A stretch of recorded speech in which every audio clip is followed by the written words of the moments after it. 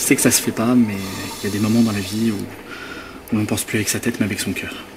Je nous imagine tous les deux, toi et moi, sur une plage de Polynésie, au soleil. Tu seras en train de siroter un petit cocktail de fruits frais pendant que moi, je, moi, je vous masserai les pieds avec de l'huile de jojoba. C'est ce que je voulais vous dire et maintenant c'est fait.